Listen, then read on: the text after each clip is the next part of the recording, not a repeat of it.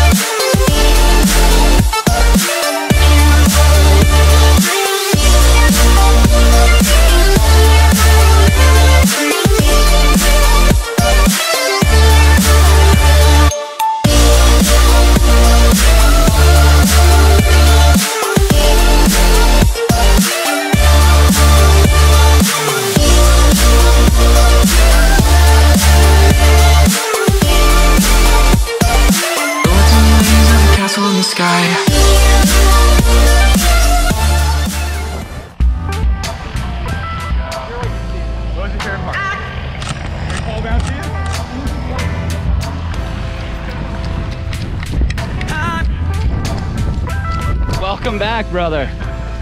How was that? That was awesome, man. What went through your mind when you first jumped out of that airplane? It was a rush, man. Yeah. That's like unlike anything you can ever do. Awesome. You think you'll ever do it again? Oh, absolutely. Awesome. Well, thank you for choosing Skydive DeLand. Thank you. Hope to see you again.